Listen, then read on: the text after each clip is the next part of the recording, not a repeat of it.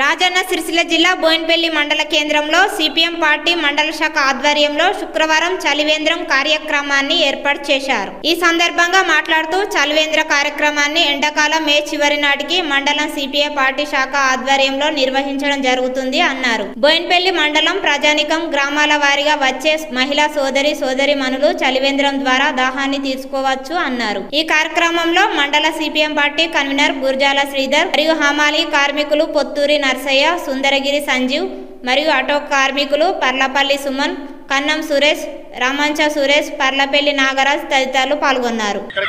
ఏదో ఒక పని నిమిత్తం మండల కార్యాలయం కావచ్చు ఇక్కడ దుకాణదారులు కావచ్చు పని నిమ పని నిమిత్తం వస్తారు కాబట్టి ప్రతి ఒక్కరూ మండలంలో ఉన్న గ్రామాల ప్రజలు వినియోగించుకోవాలని చెప్పి సందర్భంగా మరొకసారి బోయినపల్లి మండల గ్రామాల ప్రజలకు సిపిఎం మండల శాఖ తరఫున విజ్ఞప్తి చేయడం జరుగుతుంది.